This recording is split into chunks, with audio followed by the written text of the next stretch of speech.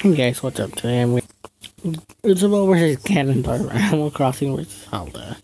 Smash Bracket episode, episode 5, because I decided to skip song boxes, because they're going to remake that one, I believe. So I'll watch the remake when it comes out.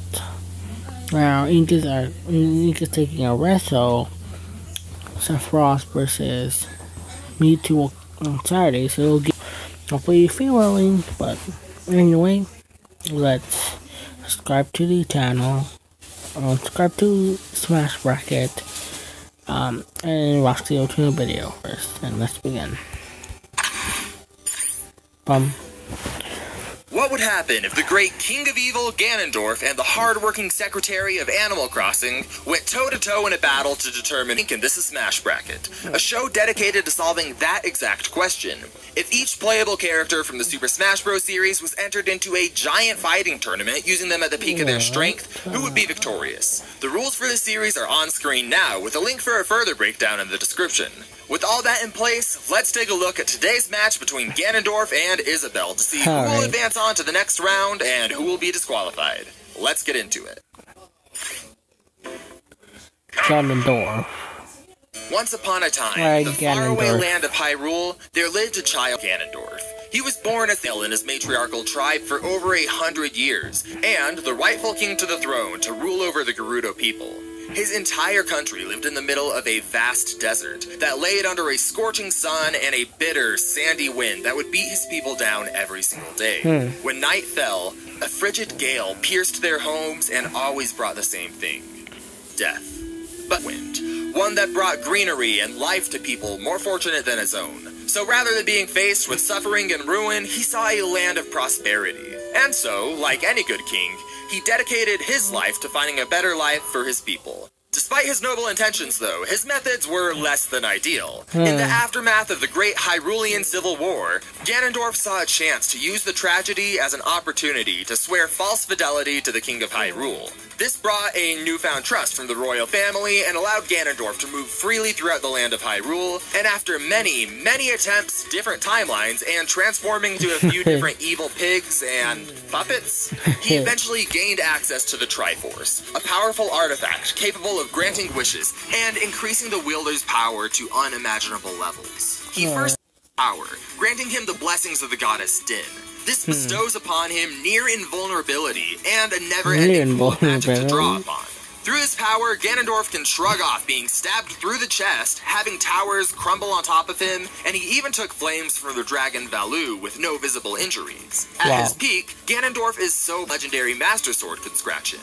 It was mm. only with the upgraded version, the Golden Sword, that Link stood any chance against him. Even then, it took silver arrows, powerful enough to one-shot nearly everything in the game to kill Ganondorf, and he was still able to survive several of these. With this hmm. power, his physical strength seemingly knows no limits. Even upon transforming into a tiny bat, he's strong at the top of this pyramid. The Triforce oh, wow. of Wisdom unlocks the powers of Nayru, giving him access to legendary mystical abilities, such as amplifying his innate magic. He's able to use energy blasts, teleportation, transmutation, transfiguration, and more. He's also able to conjure minions and even resurrect them from the dead.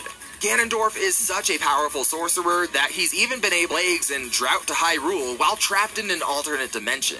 The last piece of the Triforce grants Tower of Farore, the soul life. Given that its only other wielder was Link, who wasn't nearly as gifted as Ganondorf or Zelda at channeling the power of his Triforce, the Triforce of Courage's true power is still somewhat of a mystery. Uh. One of the most about Ganondorf, though, is his evil heart. He's the personification of the reincarnated hatred of the god Demise. And under his relentless search for the Triforce and hunger for power, he's become a truly terrifying opponent. During this quest for power, Ganondorf truly became evil, and a ruthless, ruthless warrior who would slaughter anyone who stood in his way, even children.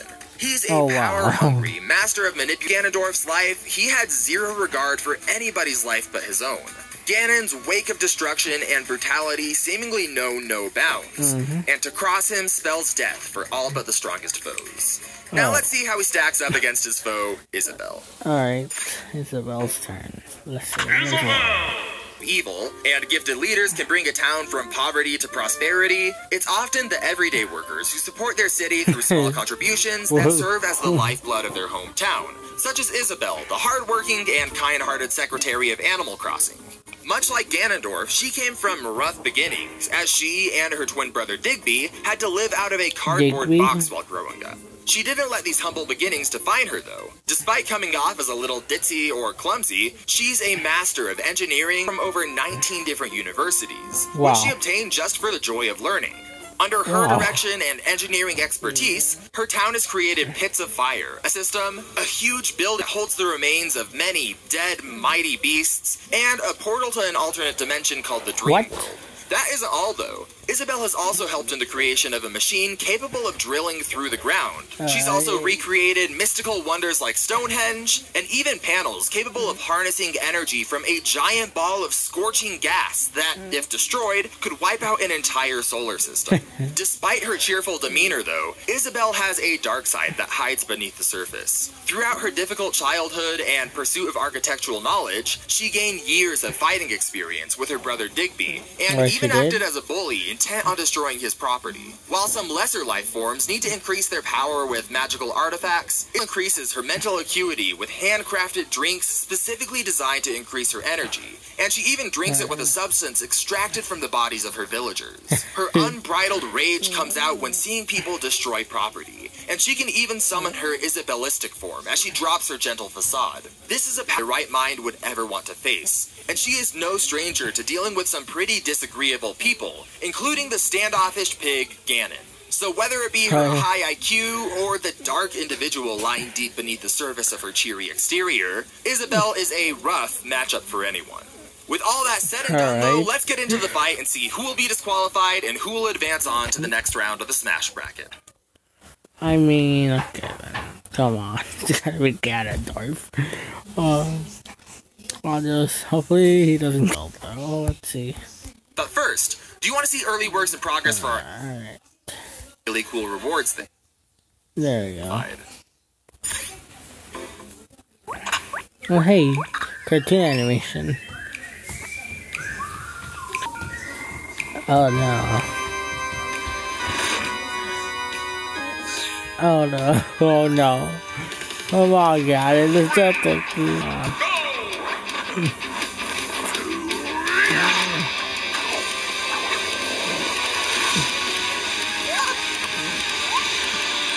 Oh, come on. Come on, don't go too hard on her. Oh, no. Spare her. Spare her out of all the fighters.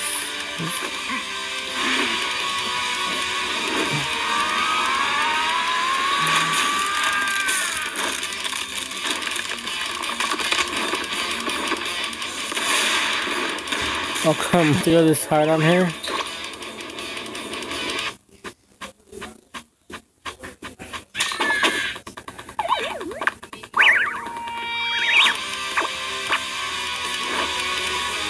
Ah, oh boy.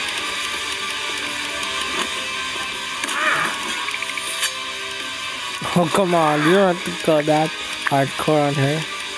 See if she gets up.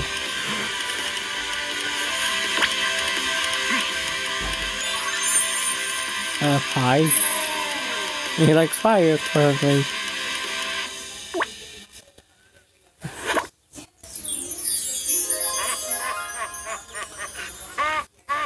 Mario becomes best friends with his the enemy becomes best friends with Doomguy and Isabelle. And there you go! Although Isabelle was eventually able to pacify Ganondorf through one of his weakness right. to be distracted by mundane objects, she I... mysteriously surrendered by waving a white flag of defeat. Whether it came from an intentional move to spare Ganondorf from her Isabellistic form, or a subtle manipulation to win over a powerful ally, we may never know the answer. Hmm. But when all is said and done, Ganondorf is the winner and will be moving on to the next round of the Smash Bracket. Next time on the Smash Bracket. Alright, it's not. Hey, Jigglypuff.